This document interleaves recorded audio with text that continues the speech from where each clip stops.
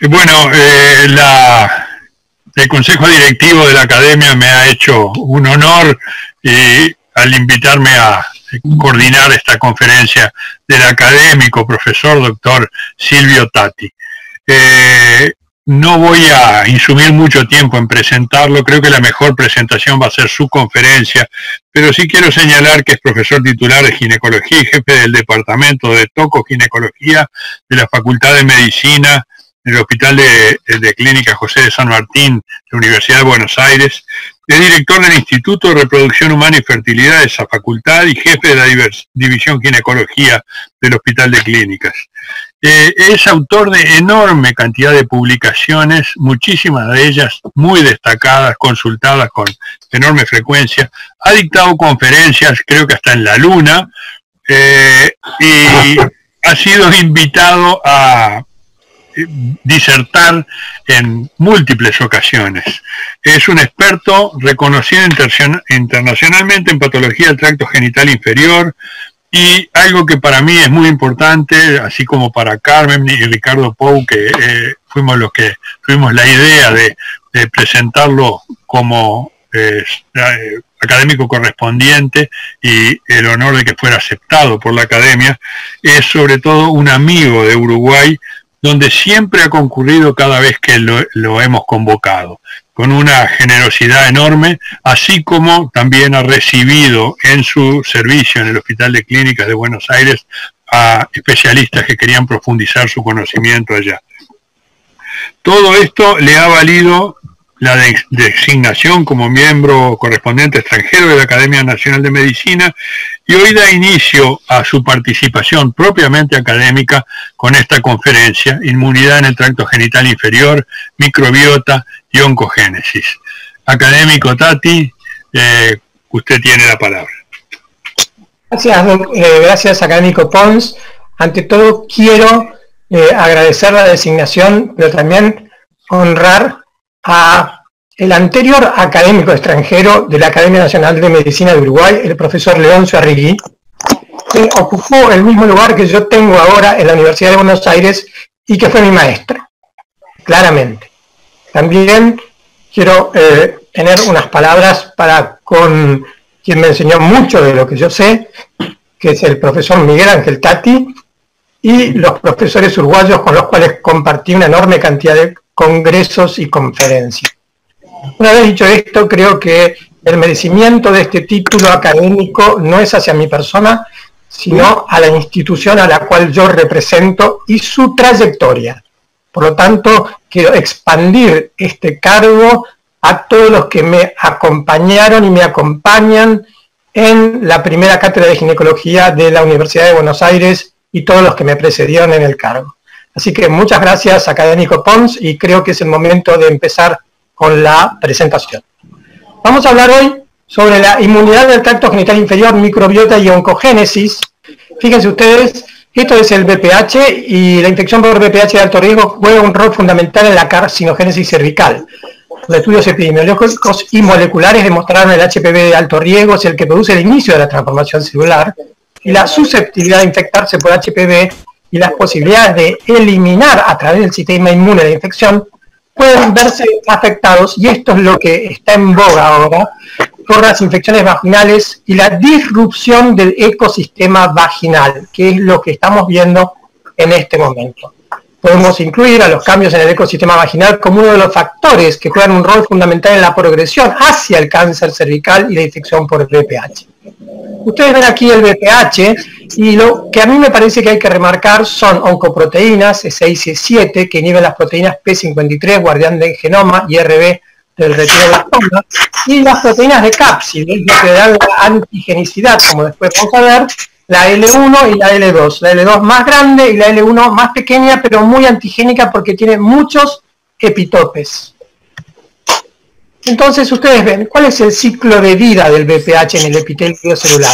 Básicamente necesita llegar habitualmente a través de una transmisión sexual y va directamente a través de una pequeña herida o microtrauma en la zona de transformación del cuello a las células basales del cuello del útero, es decir, lo más profundo del epitelio cervical.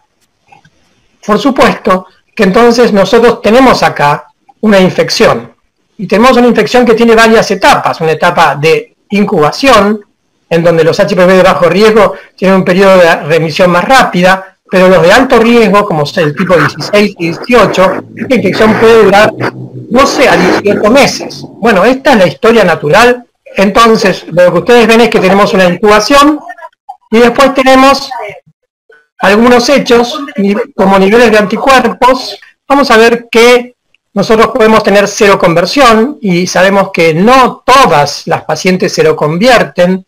Solamente podríamos decir que un 40% de las pacientes se lo convierten en la infección natural, no en la infección por vacunas, en donde, donde la mujer es vacunada, se lo convierte en el 100% de los casos, y si no, tenemos una remisión clínica sostenida, y esto se da en unos casos hasta el SIN3, no así en el cáncer, se da en el 30% de los casos, y si no, tenemos una enfermedad persistente o recurrente. Tiempo medio de cero conversión nueve meses, la seguimos pasando, por favor.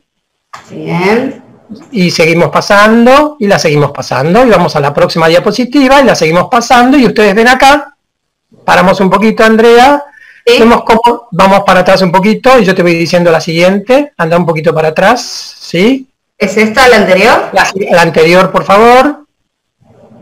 La anterior. Muy bien, acá la tenemos. Si ustedes ven acá, si vamos activando la diapositiva, tenemos un cuello normal, un sin 1, un sin 2 y un sin 3. ¿Es siempre así, un sin 1, un sin 2 y un sin 3? No.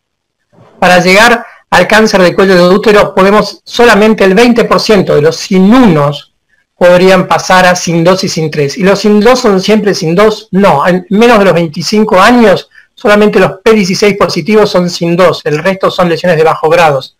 Y los CEN3 pasan siempre a cáncer cervical, el CEN3 un 30% se puede curar espontáneamente, pero empieza la desregulación celular y los microcarcinomas siempre pasan a cáncer. La siguiente, por favor.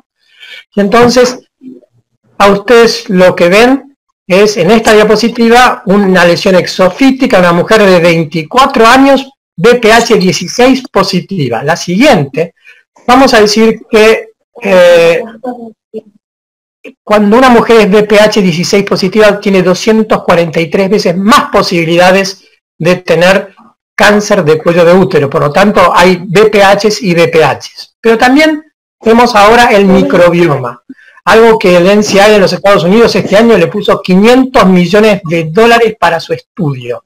Es uno de los factores más importantes. Y entonces fíjense ustedes cómo varía a lo largo de la vida de la mujer y cómo varía en la menopausia, cómo varía en el embarazo, en la madurez sexual, en la pubertad, cuando nacen y cuando mujer es recién nacida.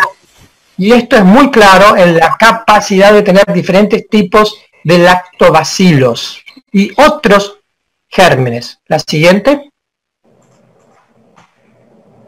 Entonces, fíjense ustedes, microbiota vaginal normal, no se sorprendan, pero tenemos bacilos gram negativos y están ahí como lactobacilos, Gardenelas, cocos gran positivos, Staphylococcus aureus epidermidis, hemolíticos, alfa-hemolíticos, gran negativos, Escherichia coli, la siguiente por favor. Podemos tener micoplasma y ureaplasma, podemos tener micoplasma y ureaplasma y podemos tener levaduras, 15 a 30% de los casos. Esto hay que conocerlo, porque si no nos pasaríamos tratando una enorme cantidad de gérmenes que son habituales de la flora vaginal normal. La siguiente. La siguiente, Andrea. Ahí vamos. La Entonces, fíjense ustedes, tenemos nuevos Bifidobacterium, Eubacterium, Peptococos, Prebotelas y Fusobacterium. La siguiente. Ustedes dirán, ¿esta es una colección? Sí, es una colección. La siguiente. Pero esta diapositiva es central en mi presentación. Las, para atrás, Andrea, por favor. ¿Por qué? Fíjense ustedes, yo la voy a traducir. Tenemos dos tipos de microbiomas. El GI es el gastrointestinal y el otro es el vaginal. ¿Sí? Pero ¿puede modificarlo el cáncer, estos microbiomas? Sí. La quimioterapia, sí. La radiación, también. Pero fíjense del otro lado, o sea, a su izquierda lo que nosotros hacemos y donde vivimos los disruptores hormonales, que se llama el host environment, el estilo de vida, el host, el host lifestyle, o sea, fumamos, tomamos, la fisiología, corremos, no corremos, hacemos gimnasia, el genotipo, con qué genes nacemos, y nuestro sistema inmune. ¿Todos tenemos el mismo sistema inmune? No, no todos tenemos el mismo sistema inmune. Y todos podemos hacer que nuestro sistema inmune funcione de alguna forma mal, sí, por supuesto que sí, inhibiendo las células natural killer con el tabaco. el ejemplo más claro que yo les puedo dar en este momento. La siguiente. Entonces, ustedes ven acá, fíjense, dos tipos de microbiomas. Los factores que impactan sobre los microbiomas, vaginal, pueden resultar tóxicos e intestinal, tóxicos en los pacientes con cáncer y durante el tratamiento. Entonces, en el microbioma intestinal, ustedes habrán visto las publicaciones del año pasado y en el 2019 y 18 acerca de la fusobacteria y su vinculación con el cáncer de colon. Es decir, casi todos los cánceres de colon si los cultivamos tienen fusobacterias. Y en la vagina, ¿qué puede haber? Vamos a ver en las próximas diapositivas qué es lo que pueden haber. Pero sí es muy claro que dentro de nuestro peso habitual el microbioma son 2 a 3 kilogramos. O sea que tenemos un órgano que se llama microbioma, que lo estamos estudiando y que pesa 3 kilos, por lo menos, 2 kilos y medio seguro. Y que lo podemos modificar. ¿Por qué? Por cáncer o podemos modificarlo por la dieta, y eso es lo que está muy en estudio, o por enfermedades preexistentes, como la diabetes. Claramente, y ustedes sabrán la asociación como buenos ginecólogos, quizás no todos, pero entre cándida y diabetes y otras enfermedades y diabetes, por ejemplo. La siguiente. Y entonces vemos que acá tenemos a la izquierda de ustedes el microbioma intestinal que produce moco y que en realidad impacta sobre la inmunidad a través de IgA. Y vemos el vaginal, y en el vaginal tenemos producción de moco y factores de adhesión. Y esta no producción de factores de adhesión, junto con el pH, hace que las patologías vinculadas al tracto genital inferior se transformen en persistentes. Por ejemplo, candidiasis vaginal persistente, pero pensemos en lo que hoy nos ocupa, BPH. Podría transformarse en una infección por BPH persistente y eh, uno de los riesgos más importantes para tener cáncer cervical es no solo tener 16 y 18 como BPH, que son los responsables del 72% de los cánceres, sino también tener una infección persistente en el tracto genital inferior. La siguiente, por favor. El microbioma vaginal y el cáncer cervical. Las mujeres con microbiota vaginal dominada por el lactobacillus gasseri tienen una tasa de remisión más rápida del BPH. Y aquí vemos el impacto del microbioma. Las mujeres yo, un microbioma fue bajo en lactobacillus gasseri y alto en atopobium, tiene una tasa de remisión de BPH más lenta. Y en general la composición del microbioma vaginal se asoció significativamente con los cambios en el estado del BPH. La siguiente, por favor. Y entonces la diversidad de la microbiota es significativamente mayor en mujeres BPH positivas. El lactobacillus gasseri y la granulina vaginales son más frecuentes en mujeres BPH positivas, respectivamente, estadísticamente significativo. La siguiente y el pH vaginal es más elevado en mujeres BPH positivas. Consecuentemente, si tenemos eh, pH vaginal elevado, ¿qué tenemos? Una disminución de los lactobacilos. Y se asocia con un 30% más de riesgo de infección, con múltiples tipos de BPH. La siguiente, por favor. Las mujeres BPH positivas tienen una mayor diversidad en su microbioma y menor proporción de especies de lactobacilos especialmente el lactobacilo inners. Es decir, que nosotros tenemos lactobacilos ahora y la tipificación de lactobacilos se hace solamente por PCR, no es un cultivo de lactobacilos. Tenemos que ver cuáles son en el microbioma de una mujer, cuáles son los lactobacilos predominantes. Si nosotros vemos que el inner, ¿sí? es protector. Entonces podríamos hacer un estudio del microbioma y ver qué pasa. La siguiente. Y entonces llegamos a esta diapositiva que por algo está en, colorado. La composición del microbioma vaginal ha demostrado jugar un rol fundamental en la infección por BPH y en las tasas de clearance viral o aclaramiento o curación del BPH. La composición del microbioma vaginal se relacionaría con la persistencia, como recién acabamos de hablar, y el desarrollo del cáncer cervical. Cuando nosotros que ya somos antiguos en esto de cáncer, y Surhausen lo dice en la historia del eh, cáncer cervical, primero estudió la tricomona, después estudió el herpes, después vio una partecita del HPV-16 y después lo linkeó al VPH. Claramente en el estudio de Surhausen llegó hasta el VPH y acá estamos haciendo un paso hacia adelante en el estudio del microbioma vaginal, su persistencia y la oncogénesis del HPV dentro de la zona de transformación del cuello del útero. La siguiente, porque hay una evidencia. Y la evidencia es quizás complicada de entender, pero algunos miembros de la microbiota cervical son posibles modificadores del perfil de citoquinas del microambiente cervical durante el desarrollo de la lesión intraepitelial y el cáncer cervical.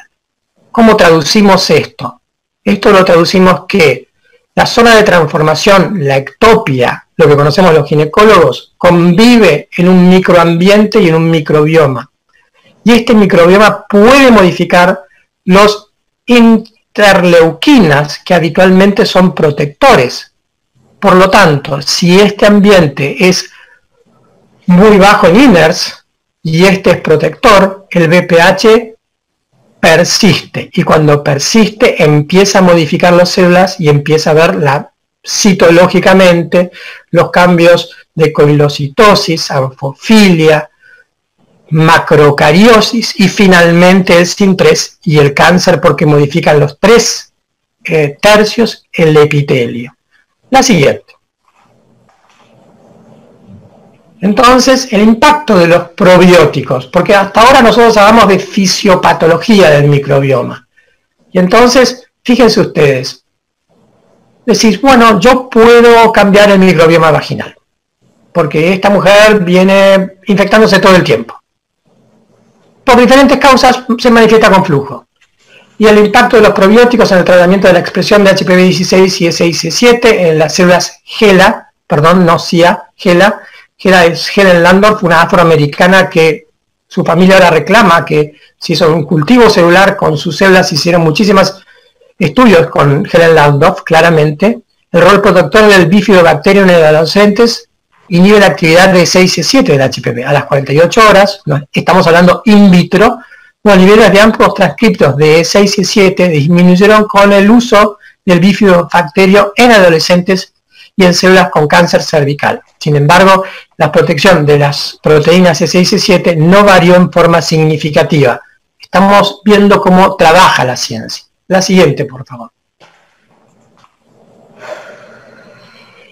Efectos citotóxicos de los lactobacilos en las células cervicales normales versus células con cáncer cervical. Acá sí, GILA. Efectos citotóxicos de los lactobacilos al exponerse a los lactobacilos Gasseri y Crispatus, el crecimiento de células GILA es inhibido en forma significativa en comparación con células normales. ¿Qué es lo que pasa acá? Gasseri y Crispatus pueden inhibir el crecimiento o aumentarlo. Está en estudio, claramente, pero en células de línea celular in vitro sí lo hace. La siguiente.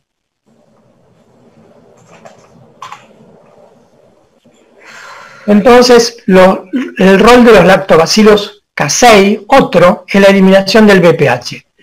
El rol de los probióticos en el clearance o sanación de la infección por HPV. Las mujeres con LIE de bajo grado o eh, lesión interpitelial de bajo grado consumieron durante seis meses una bebida por día que contenía lactobacilos casei contra el grupo control no tratado. El lactobacilo casei está en los yogures. A los seis meses del grupo que recibió el probiótico tuvo una chance de remisión del 60% versus el 31%. Además, la eliminación del BPH fue del 29% quienes recibieron el probiótico contra el, del 29% contra el 19% de los que no recibieron probióticos. O sea, claramente acá estos probióticos están actuando sobre la infección por BPH. La siguiente. Y entonces tenemos un problema. Tenemos el problema que el HPV no es una bacteria que va en la piel, produce una respuesta proinflamatoria, un enrojecimiento, pueden migrar macrófagos y leucocitos y puede dar un absceso. No existe una fase virémica de la infección por VPH, es cutáneo mucosa. Tiene una expresión limitada y demorada de las proteínas tardías de la cápside viral, la L1 y la L2. El HPV no destruye ni lisa queratinocitos, es decir, que no se presenta, no hay liberación de citoquinas proinflamatorias y interfiere con la activación de la respuesta inmune innata y suprime la acción de la interferón necesaria para la respuesta inmune celular. Por lo tanto, eh, tiene una escasa activación las células presentadoras de antígenos, que son las APC, ex llamadas células de Langerhans. La siguiente. Entonces, tenemos mecanismos inmunológicos protectores, todos los tenemos, para protección duradera y puede requerirse inmunidad mediada tanto por anticuerpos como por células. ¿sí? Y se requieren vacunas para estimular esta respuesta eh, sistémica, directa. El HPV de tipo oncogénico estimula las células epiteliales que inhiben la reacción inmunológica local, es decir, que el HPV es malo en serio. También. La siguiente.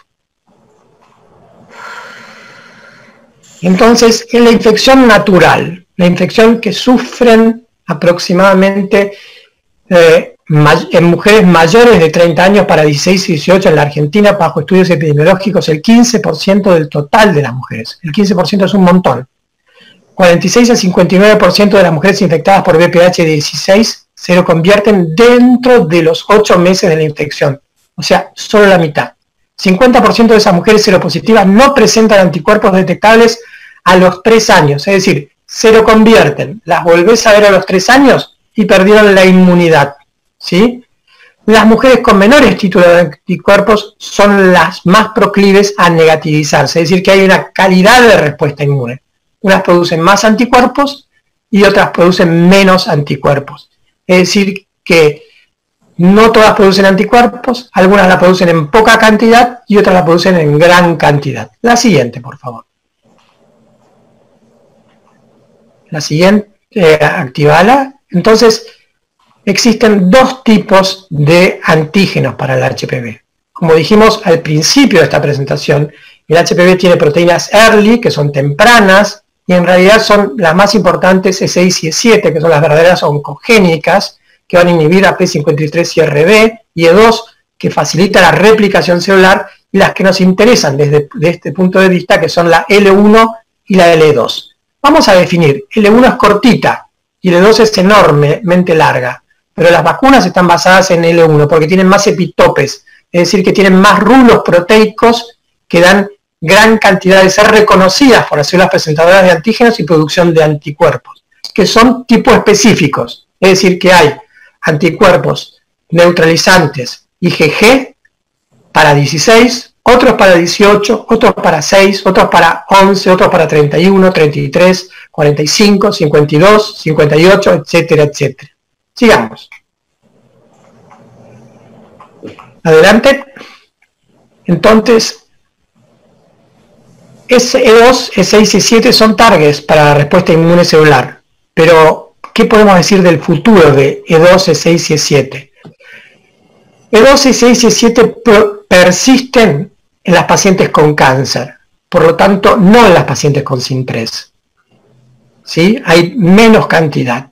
E6 y E7 ahora son targets para vacunas así llamadas terapéuticas, que en realidad finalmente van a ser inmunomoduladores terapéuticos porque van a estimular la respuesta local para así poder llegar al cáncer, destruirlo mediante nuestro sistema inmune y poder llegar a los ganglios, claramente. Por lo tanto, el desarrollo actual es vacunas profilácticas, pero el desarrollo futuro, hay que entenderlo, es la vacuna terapéutica o inmunomodulador terapéutica. Y ya hay muchos ensayos en fase 3. La siguiente, por favor. Entonces, vamos a ver la producción de anticuerpos. ¿Qué pasa cuando el HPV o el VPH llega a la zona de transformación. Debe haber una microfisura del epitelio desde la superficie hasta la membrana basal. Y acá lo estamos viendo, lo que dijimos al principio, la microfisura. La siguiente. Y entonces, ¿qué se produce ahí? La membrana basal desnuda, porque está microfisurada, no tiene el epitelio encima, expone receptores, hot shock proteins receptors, para las proteínas del virión. Y la cubierta de la proteína L1 se liga al receptor disponible. Es un receptor de furina, para los que quieran saberlo. Y ahí lo ven al receptor de furina como un Pac-Man que va tomando al BPH. La siguiente. Y entonces esta unión produce un cambio conformacional en la superficie externa de la cápsula del BPH, poniendo o exponiendo a la proteína más grande, la L2. Por lo tanto, se exponen las dos proteínas que están cubriendo el BPH. La siguiente. La superficie de la proteína L2 es ahora clivada de una forma especial, como la acción de la, por acción de la furin proteína convertasa, resultando de la protección de epitopes. El epitope de L2 de neutralización cruzada y el 1 previamente ocultado. Es decir, que es un mecanismo complejo la presentación del BPH entre sus dos proteínas, L2 muy grande y L1 muy pequeña, porque está oculta la L1. La siguiente. Y entonces los receptores de la célula basal se ligan al epitope de L1 y al epitope de L2 de neutralización cruzada para permitir la inmersión del BPH en las células basales donde se transforma el transporte al núcleo. La siguiente.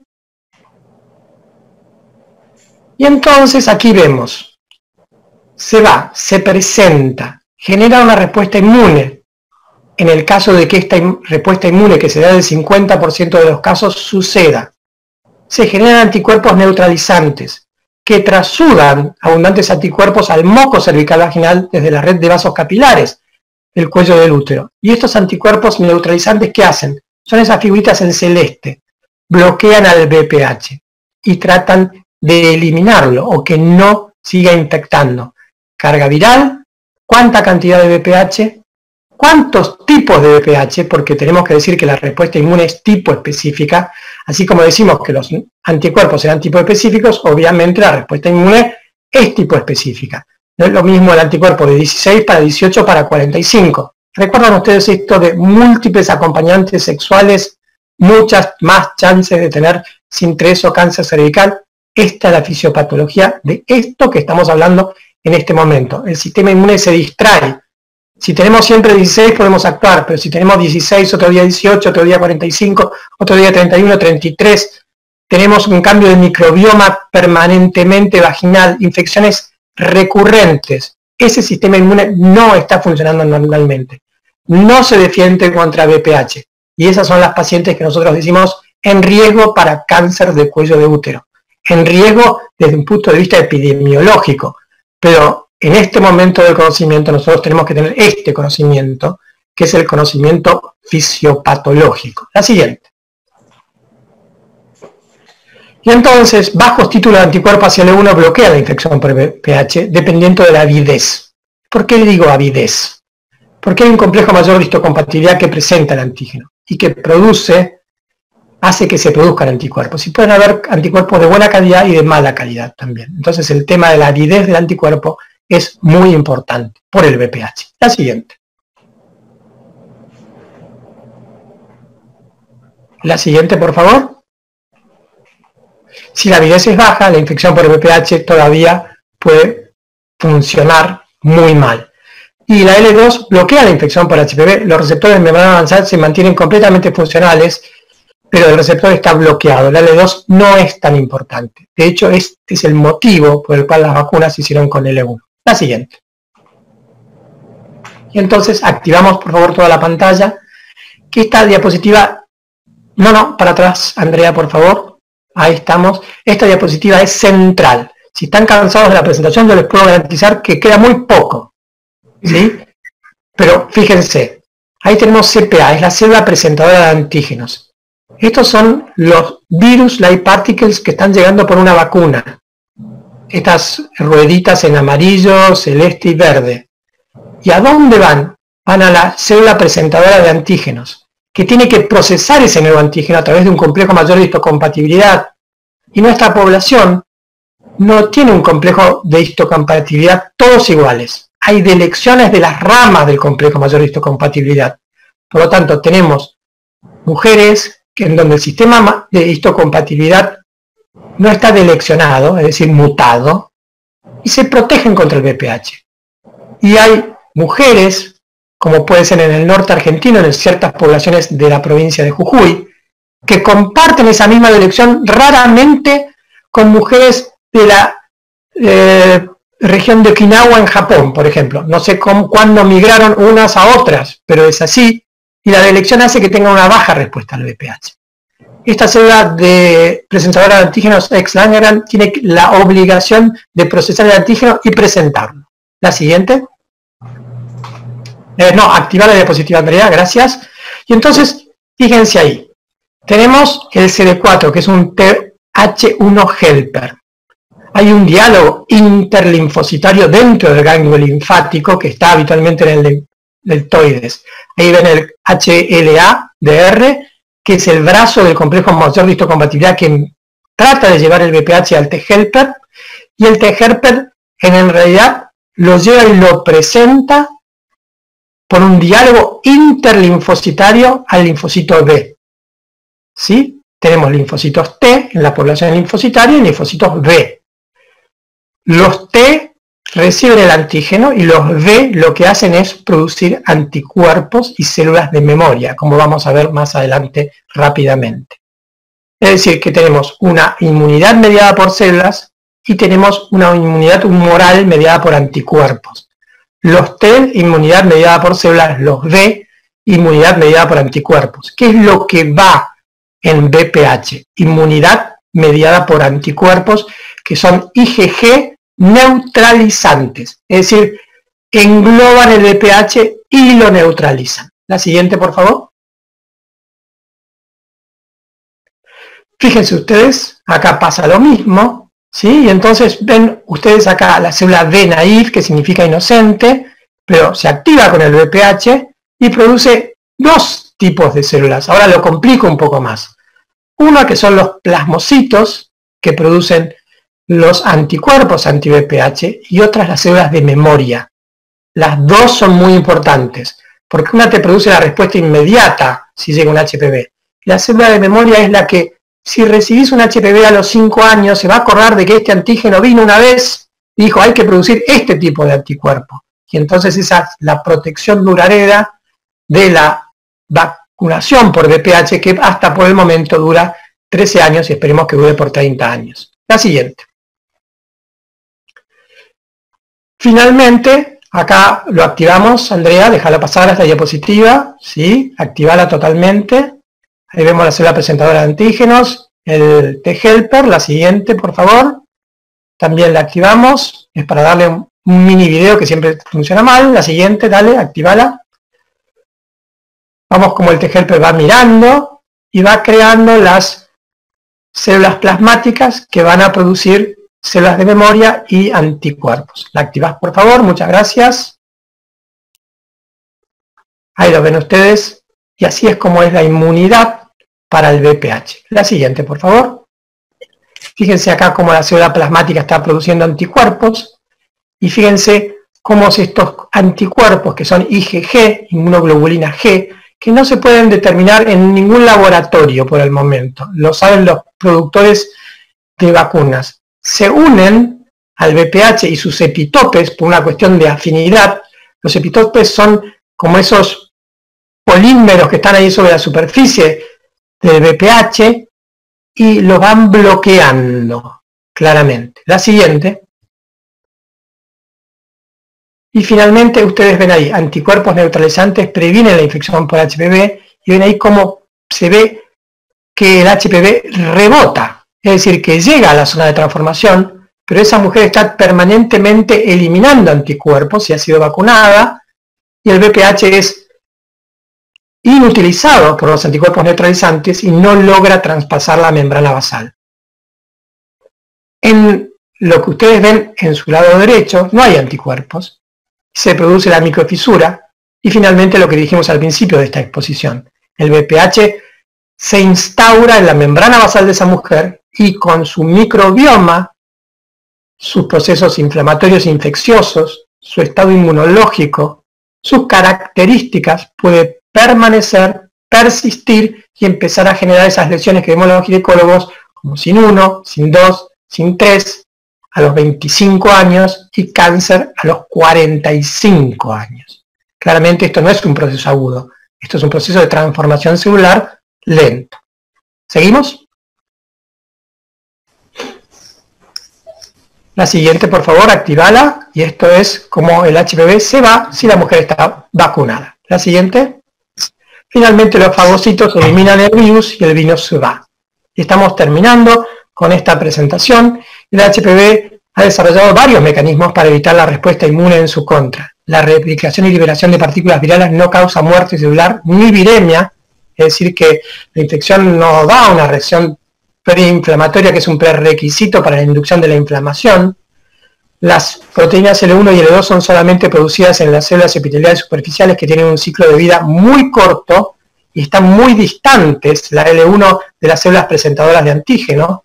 Por otro lado, la mayoría de las personas infectadas son capaces de generar anticuerpos neutralizantes séricos contra la proteína de cápside L1 luego de una inducción exitosa de la inmunidad adaptativa. La inmunidad adaptativa es la vacunación, no la infección natural que uno puede adquirir por relaciones sexuales. La vacuna por HPV L1 estimula una respuesta inmune adaptativa que genera anticuerpos neutralizantes anti-HPV tipo específico. Básicamente una vacuna cuadrivalente, 6, 11, 16 y 18, o la que vendrá en un futuro no navalente con nueve tipos virales, que cubrirá el 90% de la etiología del cáncer cervical. Por eso estamos en un proceso que no quiero dejar de mencionarlo hoy, que es hacia la eliminación del cáncer de cuello de útero, como en algún momento fue hacia la eliminación de la polio, en, en la época de la pandemia, en la época de hacia la eliminación del coronavirus de una forma rápida. La siguiente, por favor. Por lo tanto, ustedes ven acá las diferencias entre la respuesta natural y esto es un poco el mensaje. La infección local está presente sin viremia, no, en la postvacunación no, en la inmunidad natural es eh, humoral es lenta, ¿sí? pero en la vacunación es intensa. Los niveles séricos son bajos en la natural, pero son gigantes en la vacunación. Las respuestas T son tipo específicas en ambas. La exposición a L1 es limitada y tardía, y esto por eso les presenté esto que parecía tan complejo como el receptor a tiene que haber un tratamiento del receptor en la zona de transformación, en cambio en la vacunación lo recibís ya a la BLP y a la L1, o sea que es una presentación intensa. La activación de las células de Langerhans o presentadoras de antígenos es escasa en la natural, pero es intensa en la vacunación. La respuesta inmune a largo plazo es lenta, tardía, inconstante y en la vacunación es robusta y la memoria eh, inmunológica está presente y es siempre intensa y en cambio como vimos a los tres años en la inmunidad natural es muy discreta y podría haber protección cruzada en la vacunación. La siguiente.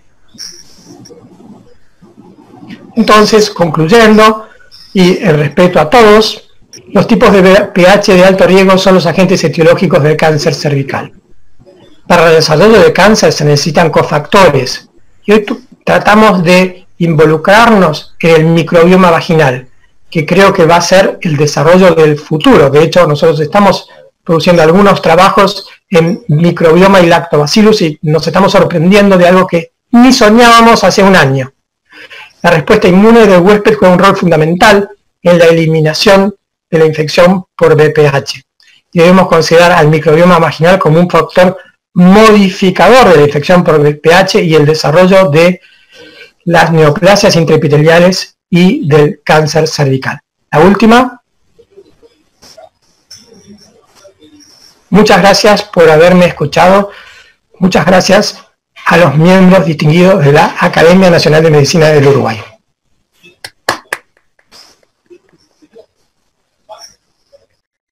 Ustedes me dirán si hay preguntas. Eh, te estaba, perdóname, me olvidé de activar el micrófono. Te estaba diciendo que seguramente en este momento, desde 228 lugares diferentes, están aplaudiendo tu presentación. Creo que ha sido un magnífico comienzo de tu seguramente larga trayectoria en la Academia Nacional de Medicina del Uruguay. Eh, estamos abiertos a algunas preguntas eh, y por supuesto comentarios. Yo he tenido problemas de conexión. Eh, Silvio, quería darte la, bienvenida, felicitarte por tu conferencia. Y bueno, recordar que somos amigos desde hace muchos, muchos años, a punto de partida de mi, de mi pasaje por la clínica ginecológica de la Universidad de Buenos Aires, de la cual además soy este, profesor libre. Y bueno estoy realmente muy muy satisfecho de muy orgulloso de que estés eh, junto a nosotros nada más eso. Gracias gracias. Muchas gracias Ricardo. Se puede recomendar probióticos bioral a pacientes con lesiones CIN 1 2 o 3 excelente pregunta se pueden, se pueden recomendar probióticos. El problema es que no sabemos por el momento por cuánto tiempo y cuánta cantidad. Es decir, lo que estamos estudiando en este momento, y lo no nosotros, lo está estudiando laboratorios de los Estados Unidos, imagínense que esto es un enorme mercado y lamentablemente tengo que decirlo, el mercado a veces hace evolucionar la ciencia. No sabemos, las últimas publicaciones que hemos leído hace tres o cuatro meses, no está determinado qué probióticos, qué cantidad de probióticos y durante cuánto tiempo los probióticos. Sí, como presenté en una diapositiva, los eh, yogures que tengan casei eh, o lactobacilos casei mejoran la inmunidad en el tracto genital inferior. esto es bajo evidencia lo que sabemos en este momento, nada más. Hay otra pregunta de Ramiro Valdés eh, y aprovecho para saludar afectuosamente a la gran cantidad de argentinos que se han eh, conectado. La pregunta dice, en pacientes que padecen frecuentemente de flujo vaginal persistente, ¿hay que insistir en buscar BPH? No, lo que hay que insistir es en buscar el cambio del microbioma vaginal que genera esta infección persistente. De hecho, ustedes se van a asombrar por lo que yo voy a decir, pero en pacientes con diarrea crónica persistente o enfermedad, enfermedad inflamatoria intestinal, lo que se está usando en Estados Unidos es el trasplante de materia fecal con microbioma normal. Y han empezado los trasplantes de microbioma vaginal normal en pacientes con flujo persistente, sobre todo con candidiasis resistente, con tratamientos satisfactorios de no recidiva de candidiasis vaginal por dos años. Son estas pacientes que vienen al consultorio y siempre tienen candidiasis y nosotros siempre tratamos de sacar fluconazol y traconazol y ya no sabemos qué hacer. Claramente con esta, con esta orientación deberíamos ser más cautelosos en la indicación de antimicóticos y mejoradores del pH vaginal y de los lactobacilos vaginales, porque estas mujeres van a andar con mucho menos, mucho mejor. Eh, hay un eh, comentario del académico Bagatini señalando que no se administran los probióticos por vía vaginal. Eh, ¿Cuál es tu comentario? Sí. Perfecto, que no se administran los probióticos por vía vaginal. Yo siempre dije que el caso era por vía oral y lo que sí le estoy diciendo al académico, con todo respeto, es que están empezando los primeros trabajos de trasplante intravaginal de microbioma, que no son probióticos, de microbioma normal. Perfecto. Eh, hay una pregunta, ¿se puede realizar tratamiento con lactobacilos en óvulos? De hecho están disponibles, pero no hay evidencia de su eh, resultado clínico. Y una siguiente pregunta dice, ¿está probado que las mujeres después de los 30 produzcan anticuerpos suficientes para recomendar la vacuna de HPV? En algunos estudios se menciona que la inmunidad disminuye luego de los 30 años. Voy a ser más cáustico. La inmunidad disminuye después de los 15 años. Porque por eso es que la vacuna se da en dos dosis hasta los 15 años y después de los 15 años se tiene que dar en tres dosis la vacuna está aprobada en ensayos clínicos fase, eh, eh, hasta los 45 años, definitivamente. Pero si vos vas por FDA y vos vas por EMA, que es el regulador europeo, la vacuna no tiene límite de edad.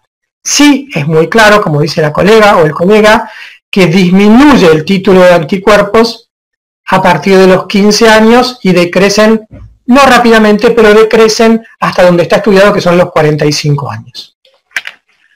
Otra pregunta. Excelente Voy a, decir, voy a decir una cosa más, si me permitís, que está comprobado que las pacientes que se tratan por SIN3 y se vacunan en el momento de tratamiento, si no estaban vacunadas, disminuyen la recidiva post-tratamiento del 12,5 habitual de recidiva post-tratamiento del SIN3 a un 2,5 y estos son los trabajos de Elmar Joura en Austria, claramente. Por lo tanto, la vacunación de alguna manera no descripta activa la inmunidad local en la zona de transformación.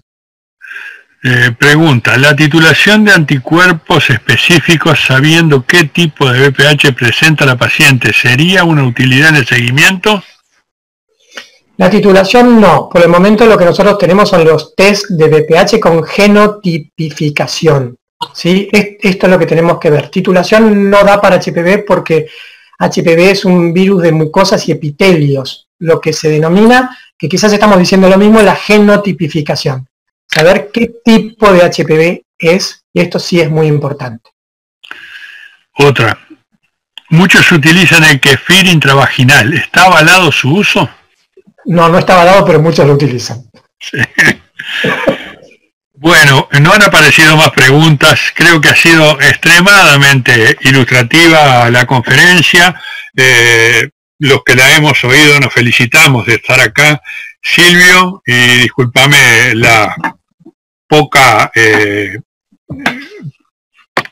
la poca capacidad de decirte claramente académico Tati, pero la amistad me lleva a decirte Silvio.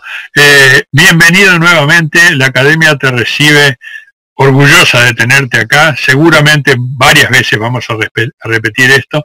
Nos alegramos muchísimo de que haya sido por esta vía y no presencial. Eh, nuestra capacidad en el anfiteatrito de la academia no hubiera dado cabida a todos y nos hubiéramos perdido tener a tantos argentinos que han venido a escucharte, eh, pese a que ellos tienen la oportunidad de tenerte más cerca. Bienvenido nuevamente, un gusto tenerte acá y hasta pronto. Bueno, eh, académico, yo por lo menos en mi primera presentación tengo que ser muy formal. Eh, espero me esperen en Montevideo en cualquier momento, apenas a nada no voy a llegar, no estoy en forma física, pero sí apenas cerrar las fronteras, este, me cruzaré y podemos darnos un abrazo fraterno y así eh, claramente reforzar la amistad rioplatense que siempre debe ser un factor determinante de nuestra sobrevivencia y hermandad. Muchísimas gracias.